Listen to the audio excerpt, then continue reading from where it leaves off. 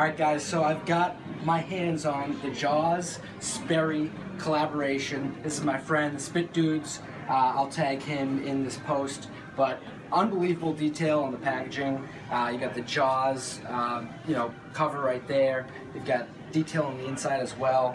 Uh, awesome detail here. You've got blood basically running through water on the paper. Let's get right into the shoes.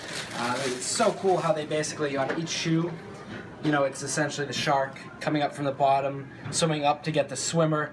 Uh, it's cool how the shoe just kind of plays out like that. You've got blood all along the inner lining. Then you've got, of course, like that, uh, you know, the beach theme right there. Beach is closed. Just overall, unbelievable detail on the shoes. Even on the inside of the box, too. Comes a little uh, card and then all water on the inside. So they went all out uh, for this. Uh, very cool. Nice job by Sperry.